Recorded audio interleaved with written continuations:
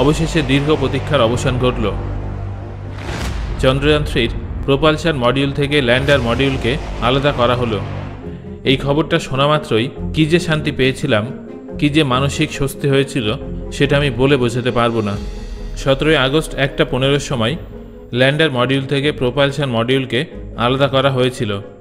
এই খবরটা ইসরো যখনই জানাই, সঙ্গে সঙ্গে আমি আমাদের ইউটিউব চ্যানেলের কমিউনিটি পেজে সেই সম্পর্কে আপডেট দিয়েছিলাম। কিন্তু আমি বিশেষ কারণবশত বাইরে থাকার কারণে ভিডিও করে আপনাদের জানাতে পারিনি। যদিও আপনারা বারবার অনেকে বলেছিলেন যে অবশ্যই আপনি আপডেট করে ভিডিওটা দেবেন। প্রথমে আমি ক্ষমা চেয়ে নিচ্ছি, কারণ ভিডিওটা আমি টাইম মতো দিতে পারলাম না বাইরে থাকার কারণে। কিন্তু এখন রাত একটা বাজে, এখন আমি এই ভিডিওটা রেকর্ড করছি শুধুমাত্র আপনাদেরই জন্য। যাই হোক দুপুর তখন একটা বাজে, ইসরোর কন্ট্রোল রুমে একটা টান টান উত্তেজনা। বিজ্ঞানীরা সবাই ব্যস্ত যে কখন প্রোপালশন মডিউল থেকে ল্যান্ডার মডিউলকে আলাদা করা হবে।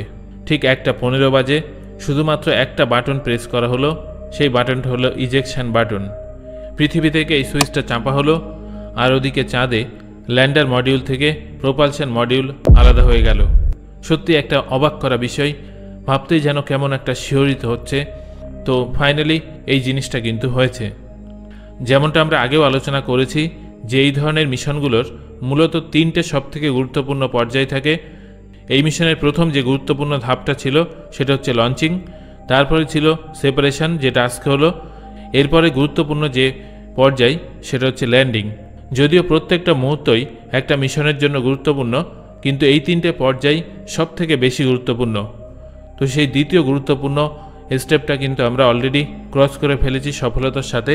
এর জন্য সত্যিই আমি কুর্নিশ জানাই ইসরোকে এত বড় একটা মিশনকে সফলভাবে সামনের দিকে এগিয়ে নিয়ে যাওয়ার জন্য। ইসরো টুইট করে কি আপডেট করেছে সেই সম্পর্কে অবশ্যই জানব। সেই সাথে আমরা জানব, রাশিয়ার লুনা টোয়েন্টি ফাইভ এই মুহূর্তে কোথায় আছে, তার কি আপডেট, সমস্ত বিষয় সম্পর্কে আলোচনা হবে। সেই জন্য ভিডিওটা অবশ্যই শেষ পর্যন্ত দেখুন। প্রথমে আমরা চলে এলাম ইসরো টুইটার হ্যান্ডেলে। কি বলা হচ্ছে সেই টুইটে দেখুন thanks for the ride mate set the lander module LM একটা জিনিস খেয়াল করবেন যে এলএম মানে হচ্ছে ল্যান্ডার মডিউল, আর এখানে দেখুন পিএম পিএম মানে হচ্ছে প্রোপালশন মডিউল এই জিনিসটা আপনারা কিন্তু খেয়াল রাখবেন। Thanks for the ride mate অর্থাৎ ল্যান্ডার মডিউল প্রোপালশন মডিউলকে ধন্যবাদ জানিয়েছে এরকম সুন্দর একটা যাত্রা করানোর জন্য। LM is successfully separated from the propulsion module অর্থাৎ ল্যান্ডার মডিউল প্রোপালশন মডিউল থেকে সফলভাবে আলাদা হয়েছে। LM is set to descend to a slightly lower orbit upon a deboosting plan for tomorrow around sixteen hundred hours. অর্থাৎ আগামীকাল আঠেরো তারিখ বিকেল চারটের সময় ল্যান্ডার মডিউলের ডিবুস্টিং করা হবে এবং কিছুটা ছোট অরবিটে নিয়ে আসা হবে। আপনারা আঠেরো তারিখ ভিডিওটা দেখছেন। আজকে বিকেল চারটের সময় ল্যান্ডার মডিউলকে নতুন কক্ষপথে আনা হবে। এখানে যেটা মেন আলোচ্য বিষয় সেটা হচ্ছে, এই ছবিটা আপনারা দেখুন। এই যে ল্যান্ডার মডিউল থেকে প্রোপালশন মডিউল সেপারেট হয়েছে। এবার এই প্রোপালশন মডিউল, যেটা আমাদের লাস্ট অরবিট ছিল, একশো তিপ্পান্ন বাই একশো তেষট্টি, সেই অরবিটেই কিন্তু সে ঘুরবে। আর এই যে ল্যান্ডার মডিউল সেটাকে কাল বিকেলে চাঁদের কাছের কক্ষপথে আনা হবে। এটা হচ্ছে প্রথম টুইট আরেকটা টুইট করা হয়েছে তারপরেই। Meanwhile the propulsion module continues its journey in the current orbit for months or year অর্থাৎ প্রোপালশন মডিউল তার যাত্রা কিন্তু বজায় রাখবে। মাসের পর মাস, বছরের পর বছর। এখানে আরও বলা হচ্ছে the shape payload onboard it'd perform spectroscopic study of the earth's atmosphere and measure the variations in polarization from the clouds on Earth to accumulate signatures of the exoplanets that would qualify for our habitability. তাহলে এটা mainly দুটো কাজ করবে। একটা হচ্ছে, পৃথিবীর বায়ুমণ্ডল সম্পর্কে একটা স্পেকট্রোস্কোপিক স্টাডি করবে। সেই সাথে সৌরজগতে বসবাসযোগ্য কোনো গ্রহ খুঁজে পায় কিনা সেটা সম্পর্কেও গবেষণা করবে। তো এই ছিল ইসরোর মেন টুইট এবার আজকের আমরা আলোচনায় যে দুটো বিষয় সম্পর্কে বললাম, কি কি বললাম?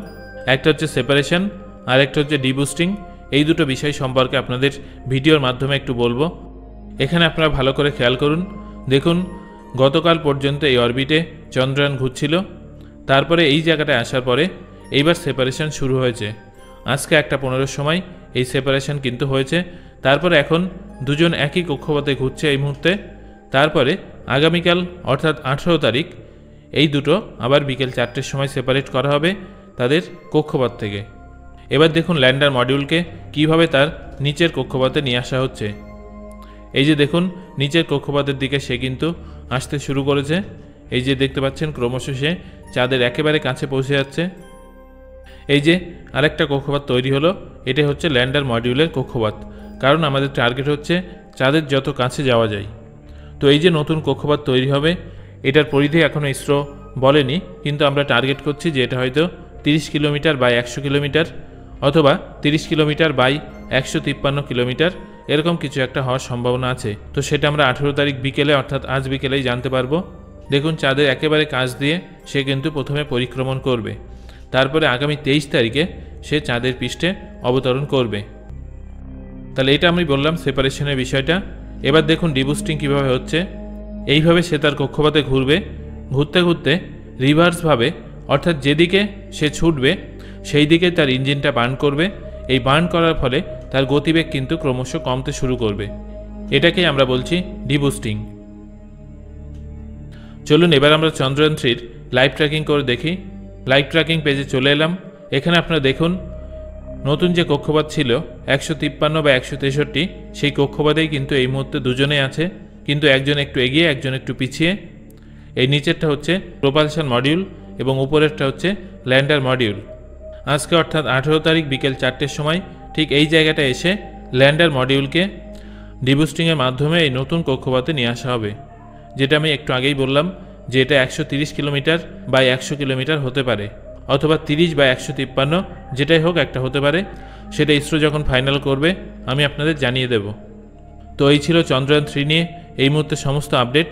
চলুন এবার আমরা রাশিয়ার লুনা টোয়েন্টি ফাইভ সম্পর্কে একটু জেনে নিই। যেমনটা আমি আপনাদের আগের ভিডিওতে জানিয়েছিলাম যে লুনা টোয়েন্টি ফাইভ কিন্তু অলরেডি সতেরো তারিখ ভোরবেলা চাঁদের কক্ষপথে প্রবেশ করেছে। লুনা টোয়েন্টি ফাইভের যে যাত্রা, সেটা কিন্তু ভীষণ দ্রুত বেগে সে কমপ্লিট করল এবং তার ডিবুস্টিংটা কিন্তু দারুণ ছিল। কারণ চন্দ্রয়ান থ্রি অনেকগুলো অরবিট করে করে ধীরে ধীরে চাঁদের কক্ষপথে অবতরণ করছে। কিন্তু লুনা টোয়েন্টি ফাইভ, সে এত দূর থেকে একেবারে গিয়ে ডাইরেক্ট ডিবুস্টিংয়ের মাধ্যমে চাঁদের নিকটস্থ কক্ষপথে প্রবেশ করেছে। আর এরপরে তার যে কক্ষপথ হবে, সেটা হচ্ছে আঠেরো বাই একশো কিলোমিটার। এই যে দেখতে পাচ্ছেন, অর্থাৎ চন্দ্রয়ান থ্রির যেটা একশো বাই তিরিশ হতে পারে সেটা লুনা টোয়েন্টি ফাইভের ক্ষেত্রে মাত্র আঠেরো কিলোমিটার।